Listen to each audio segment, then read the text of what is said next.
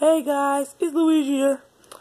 I found this last night after 1,766 SRs. Shiny Giratina. I know you can barely see that, but still, that's a beautiful shiny.